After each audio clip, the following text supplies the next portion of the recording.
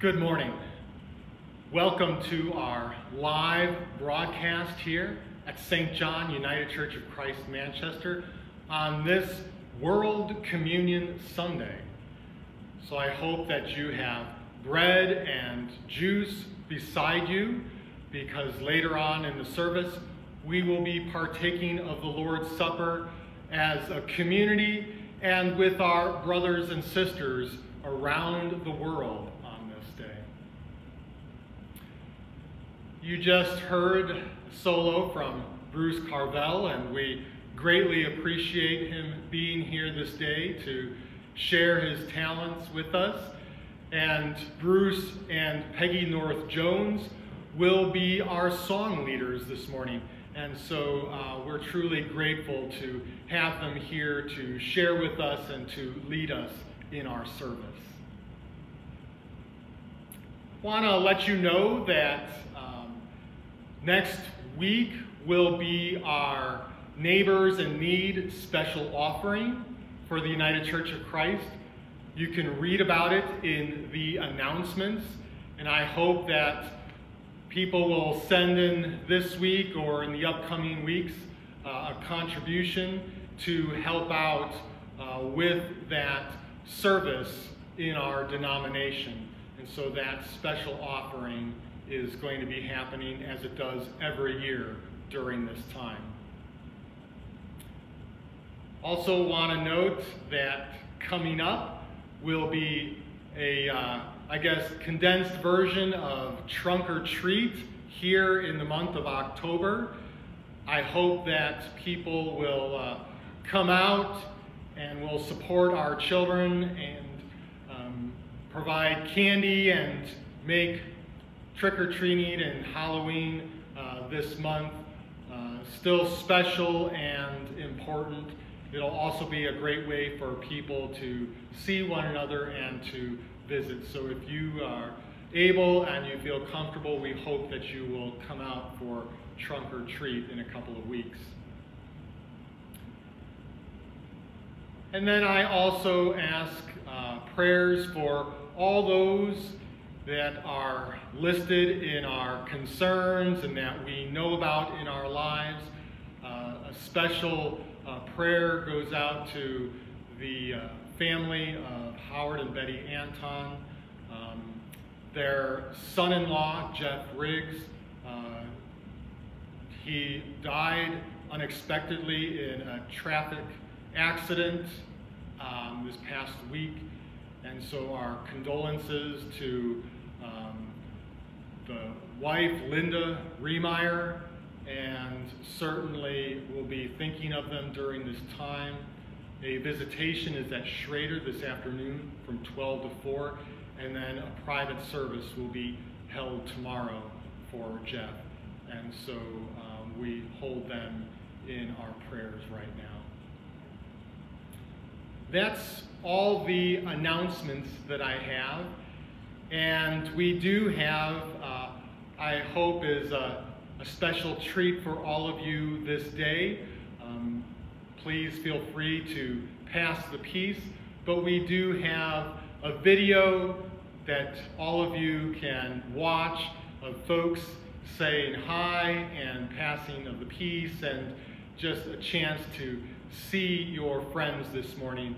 And so uh, invite you to take a moment to just watch and to reflect on this video and certainly would like to thank uh, Tanya Osick and Tim for putting this together and for all of you for setting in your pictures and your videos to us.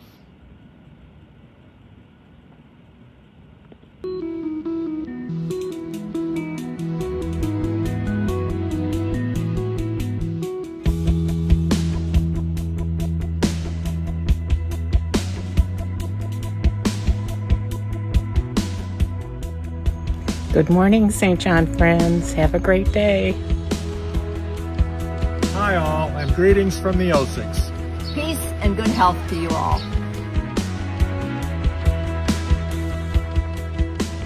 The peace of Christ be with you from my heart to yours. Hi, St. John's family. We miss you all. Hi, St. John Church family. Miss you all. Morning. Keep going. Wait. It's fine. Okay, fair enough. Staying safe, looking forward to the day when we can be together again.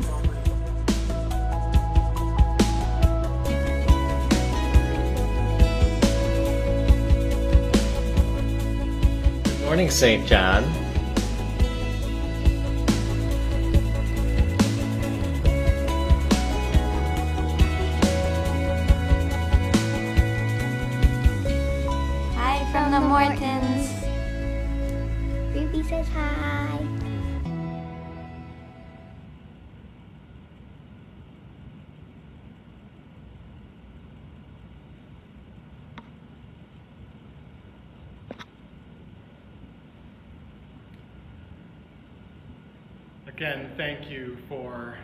Sharing uh, videos and pictures. And so peace of Christ be to all of you as we continue on with our service, with our opening hymn, As Grain on Scattered Hillsides.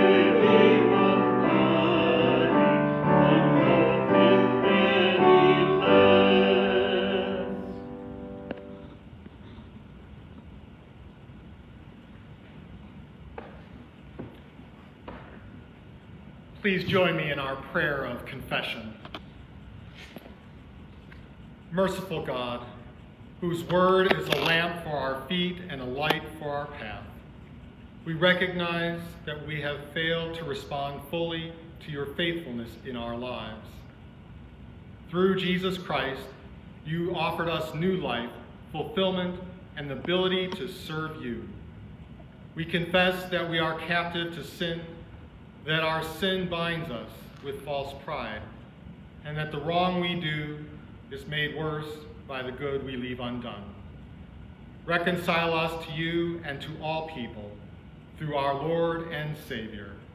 Amen.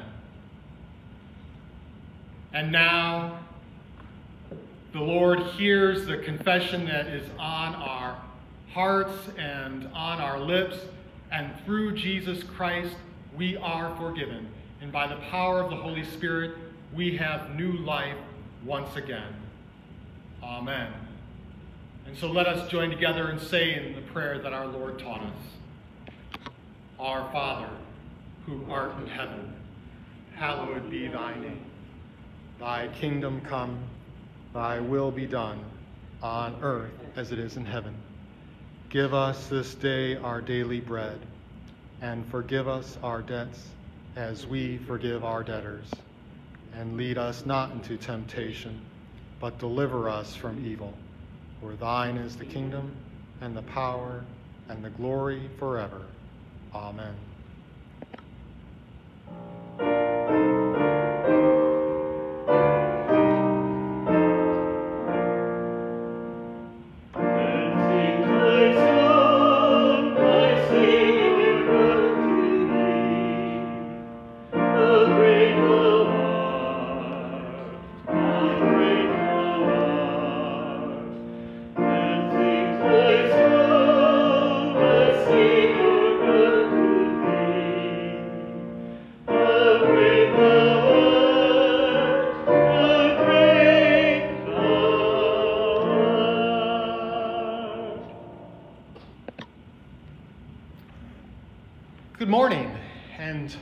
We come now to the time with our children, and so we have uh, a message this morning. And when I arrived here at church this morning, I uh, bumped into a new friend, Luther the Lion. And since you've all been gone, uh, Luther has been dropping in to say hello. So say hello, Luther. Hello. Good morning. Oh, there it is. Much better. You can see my name.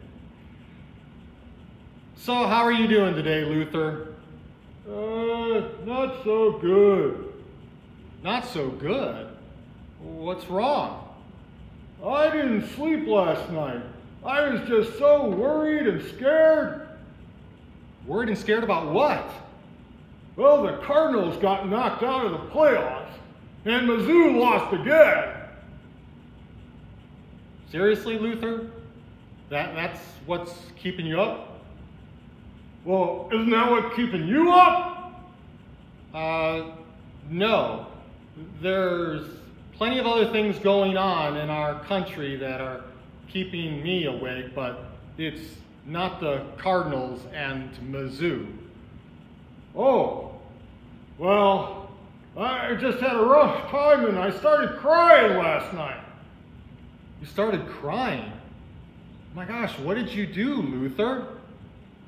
Well, I was crying and then my mom and my dad came into me and, and they sat down next to me and, and they just kind of petted my mane and well that was really great of your parents to do that. I mean, how did you know that your parents were going to come in and, you know, kind of take care of you? Well, because I have faith. I just, I have faith. Well, that's great that you have faith, Luther. Um, but don't you think that your parents coming into your room um, is because they are reliable and because they are committed to you and because you know they are wanting to make sure that you have the very best? Well, I, I guess that's true, yeah. That they do all those things. They're just, they're so loving and loyal, and I can always count on them. So you have faith. At the same time, it's also the faithfulness of your parents who are going to follow through and who act in loving and caring ways that make it work. So it's important to have faith, but it's also, I think, equally important to make sure that we're being faithful that there's faithfulness in how we live. Well, that makes a lot of sense. Oh, that really helps me out, and I'll remember that the next time I'm scared. I, I hope you do, that uh, you know, your parents' faithfulness is really important, and faithfulness is important for all of us too, to make sure that our actions and our deeds and our works and everything that we do in life shows our faithfulness to God and to one another. And I hope that all of you will be thinking about how it is that the way you behave and what you do kind of reveals uh, the faithfulness of Christ in your life. So let us join together here in prayer. Okay, Luther? All right. Oh Lord, we thank you for revealing your faithfulness to us in Scripture and especially in the life of Jesus Christ. May that help us so that we can show faithfulness in our days. All this we ask in your holy name. Amen.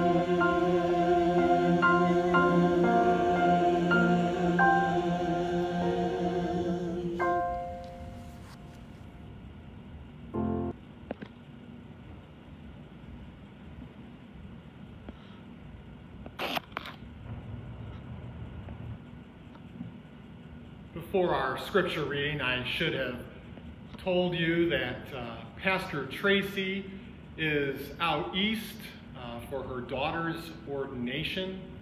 And so we uh, wish her safe travels, and she will be back in the office this week. Um, so I apologize for not mentioning that. Our scripture readings this morning, um, the first one comes from Hebrew scripture, and it is a short verse from Exodus. The Lord passed before him and proclaimed, The Lord, the Lord, a God merciful and gracious, slow to anger, and abounding in steadfast love and faithfulness. And then from the New Testament, we hear these words from the book of Hebrews, chapter 11. Now, faith is the assurance of things hoped for, the conviction of things not seen. Indeed, by faith our ancestors received approval. By faith we understand that the worlds were prepared by the word of God, so that what is seen was made from things that are not visible. By faith, Abraham obeyed when he was called to set out for a place that he was to receive as an inheritance. And he set out, not knowing where he was going. By faith, he stayed for a time in the land he had been promised, as in a foreign land, living in tents, as did Isaac and Jacob, who were heirs with him of the same promise. For he looked forward to the city that has foundations and whose architect and builder is God. By faith he received power of procreation, even though he was too old, and Sarah herself was barren, because he considered himself faithful who had promised. Therefore, from one person, and this one as good as dead, descendants were born, as many as the stars of heaven and the innumerable grains of sand by the seashore. All of these died in faith without having received the promises, but from a distance they saw and greeted them. They confessed that they were strangers and foreigners on the earth. For people who speak in this way make it clear that they are seeking a homeland. If they had been thinking of the land that they had left behind, they would have an opportunity to return. But as it is, they desire a better country that is a heavenly one. Therefore, God is not ashamed to be called their God. Indeed, he has prepared a city for them. May the Lord add a blessing to the reading and to the hearing of these words. Amen. Let us join together in prayer now. May the words of my mouth and the meditations of each of our hearts be acceptable to you, O God, our strength and our Redeemer. Amen.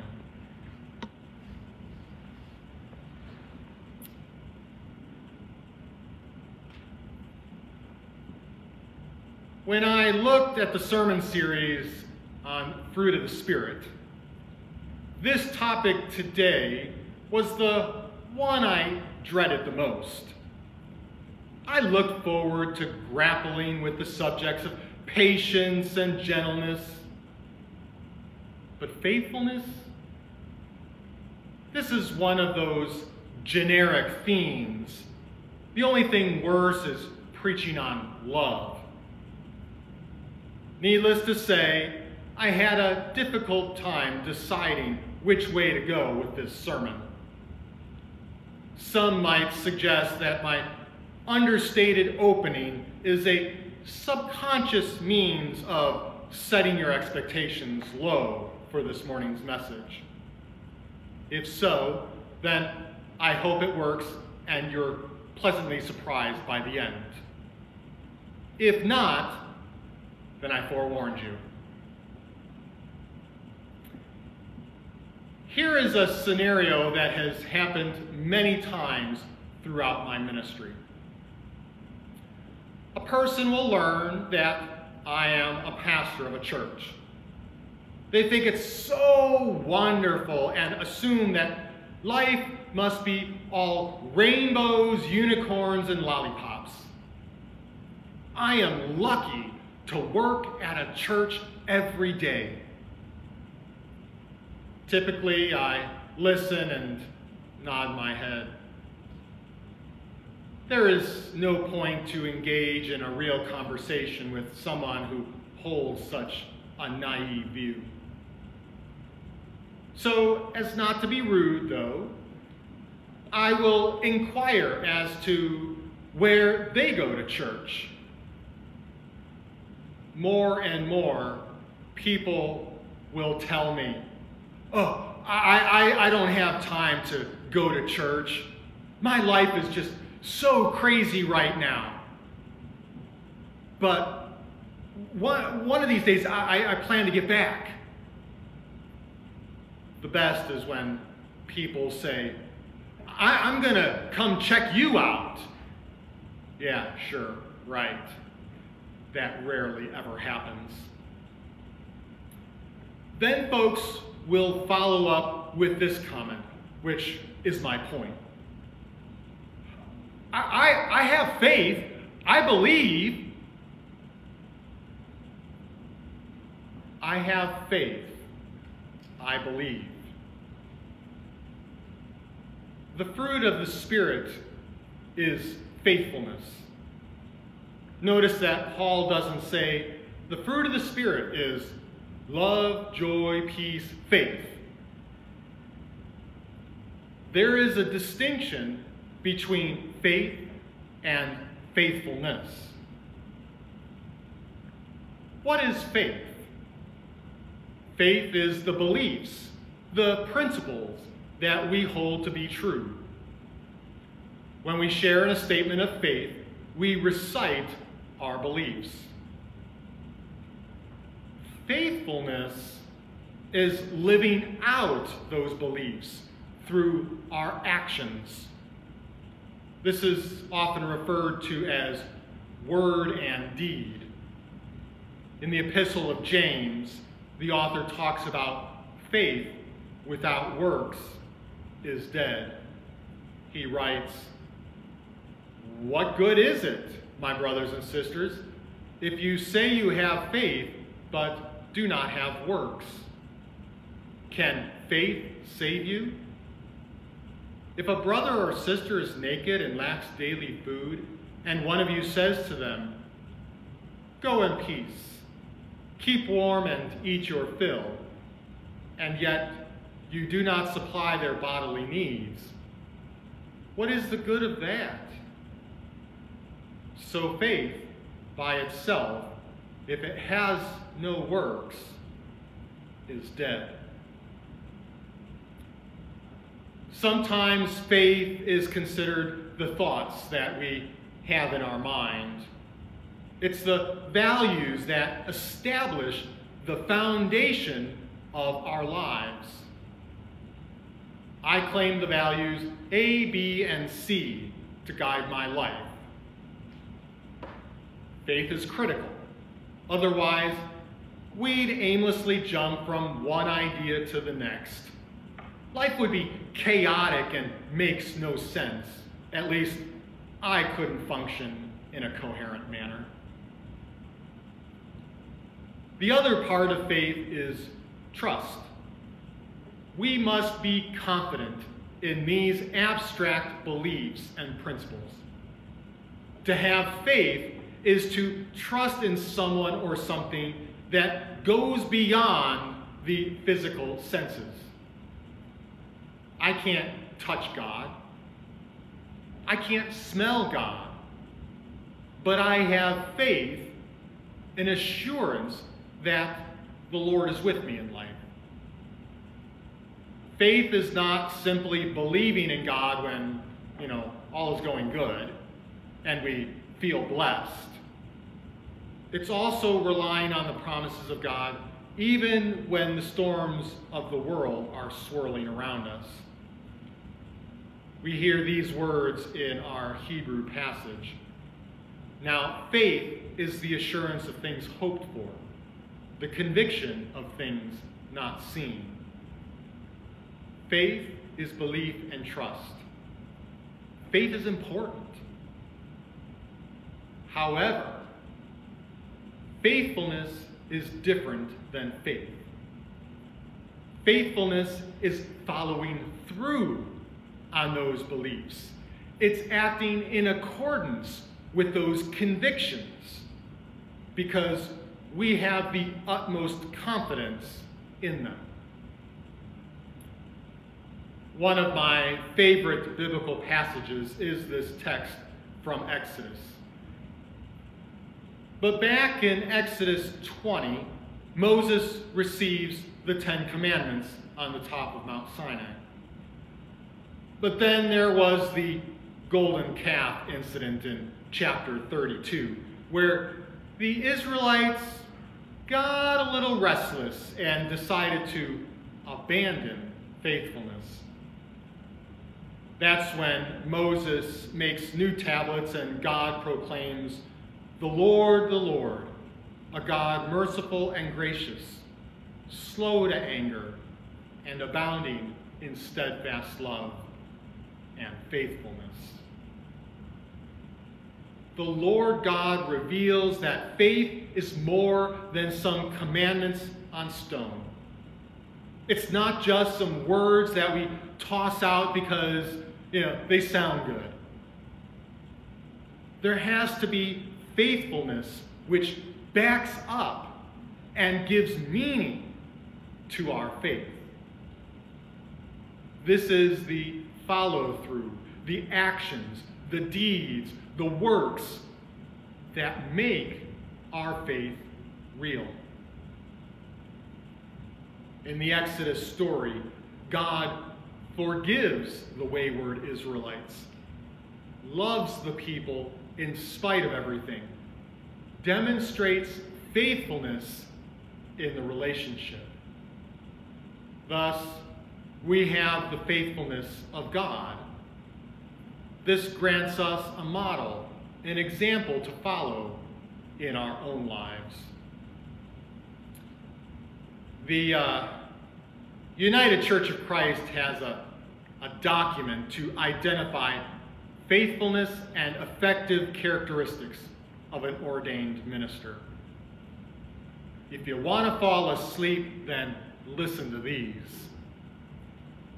exhibiting spiritual practices, building transformational leadership, participating in theological praxis, strengthening inter and intra personal assets. This is only half of them. And under each one of these is six bullet points our denomination takes faithfulness seriously. I started thinking, what are the marks of faithfulness as a Christian? How would faithfulness look in our lives? Thankfully, my sermon can't be as exhaustive as the document from the UCC. Here are a few thoughts, though. A Christian must be loyal. This is a devotion and support of our God, the church community, fellow human beings, and creation. It's a commitment from the heart that is dedicated to the betterment of everyone and everything around us. I'm talking about being true to the ministry and service of Jesus Christ. To twist this around to defend partisan politics or family agendas is a misappropriation of Christian loyalty. Such behavior of prejudices only reveals our worship of golden calves. Being loyal is putting God and church first, not the bias of our particular group. We must move beyond the shallow devotion to self and preferences and show our loyalty to God. A Christian must have integrity. The person needs to be honest and authentic in how they conduct themselves. Furthermore, it's a genuine attitude that respects relationships and treats others with dignity. In essence, we do the right thing for the sake of it. We don't say one thing today, but then turn around later on and do the opposite because, well, this doesn't work in my favor now. The lack of integrity reeks in our nation. People will claim the faith on Sunday, but then get on Twitter Monday to berate people or abscond with funds from our seniors. The story that comes to mind is one a colleague shared many years ago. Pat Robertson, on his televised Christian program, called for the assassination of Venezuelan President Hugo Chavez. After the show, a spokesperson from Robertson was asked, how can a Christian minister make such a, uh, a statement? And the spokesperson commented, well, during one part of the program, Robertson was speaking as a political pundit, while in the other part of the program, he was speaking as a Christian minister. Oh, I didn't know that we could separate our personal lives from our Christian faith. I didn't realize that we could separate our words and our deeds, that we could compartmentalize our faith and our actions, that we can say we are a Christian, but then go out and call for the assassination of another human being. But that's not faithfulness. Our God and our Christian witness require integrity. We have to make sure that what we say and do kind of meshes if it's going to mean anything. Our Christian faith summons us to rise above the hypocrisy of our selfish ways and to embody a sincerity that honors the living Spirit of God. My final mark is that a Christian must be reliable. The first two highlighted characteristics of devotion and authenticity. Being reliable is someone who consistently acts in ways that are healthy and holy. It's a person who is steadfast and true in their actions. We talk about fair weather fans in sports. There are also fair weather fans in the faith. As long as things are going well and a person is getting their way, then they're riding the Jesus bandwagon. If life presents some obstacles, or they don't like a decision in the church, then they walk away. We know what this looks like. People at work who don't follow through on tasks, family members who will let us down at home. We are called to be dependable through all the circumstances and changes in life. When we believe, when we have faith in a God who is present with us, this ought to encourage us in faithfulness over the long haul. The Christian life challenges us to be reliable in our relationships and our journey. And that takes perseverance and endurance. I realize in our passage from Hebrews, the author writes, By faith Abraham obeyed. By faith he stayed for a time. By faith he received power.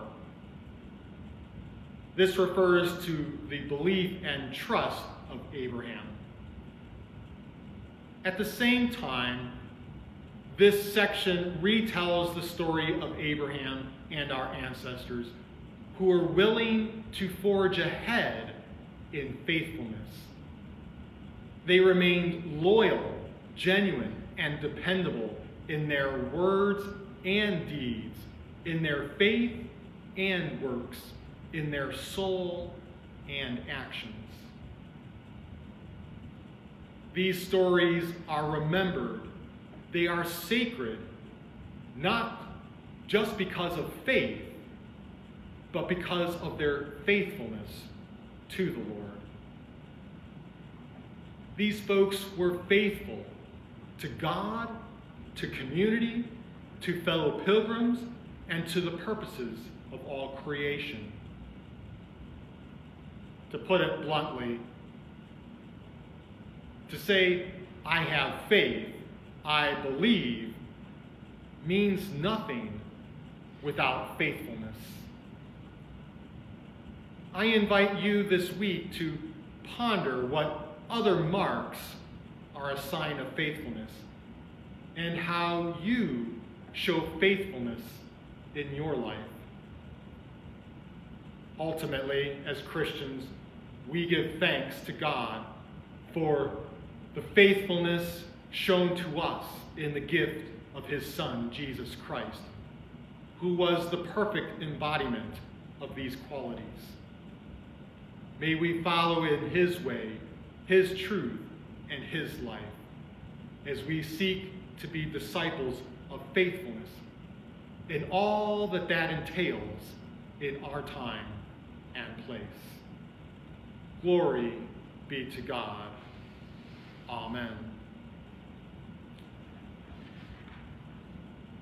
We move now from word to deed, which is the sacrament of Holy Communion this day. Christ invites us all to this holy feast.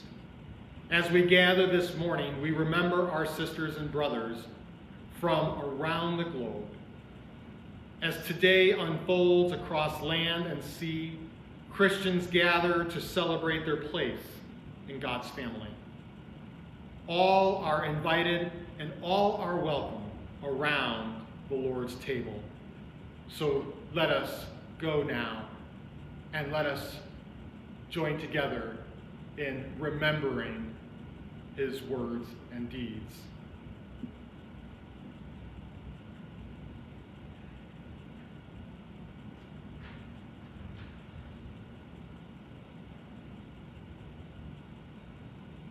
Mighty God, we come before you broken, yet seeking wholeness, isolated, yet seeking community, overwhelmed, yet seeking simplicity, embarrassed, yet seeking grace. We yearn for the love you promise. Holy One, we praise you for the beauty and gift of our world. The diversity of creation amazes us.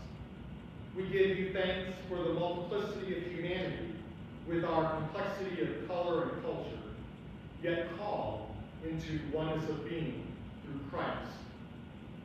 With many tongues, yet with one voice, we bless your mighty name. Glorious God, who surrounds the earth with abundant care, we are grateful and humbled by your faithfulness. We bless you, for you do not play favorites in this world.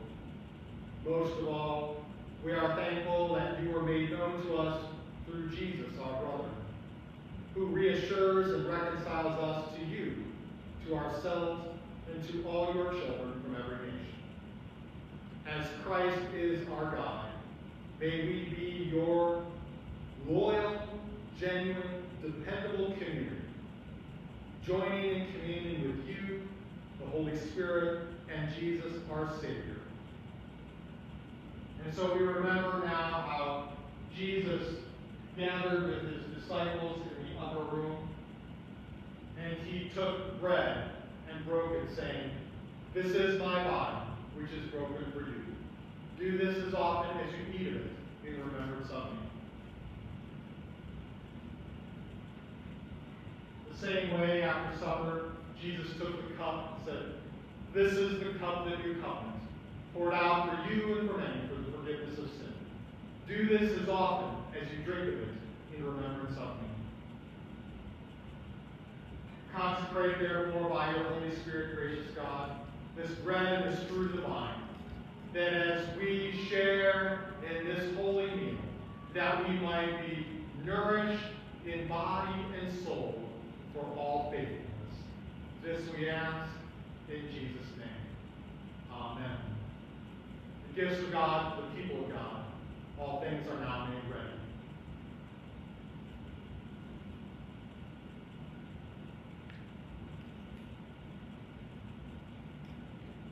The bread of life. Take and eat in remembrance of him.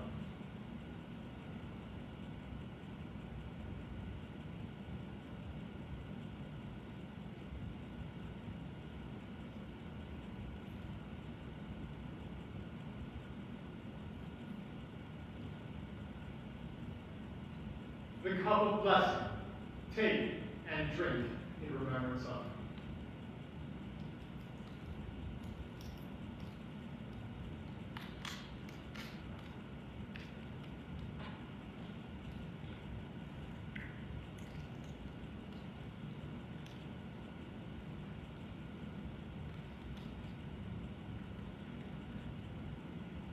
Let us give thanks back to God. Bountiful God, we give you thanks that us at your table by granting us the presence of Christ. Strengthen our faithfulness, increase our love for one another, and send us forth into the world in courage and peace, rejoicing in the power of the Holy Spirit. Amen. And now we will join together in our final hymn, Great is Thy Faithfulness.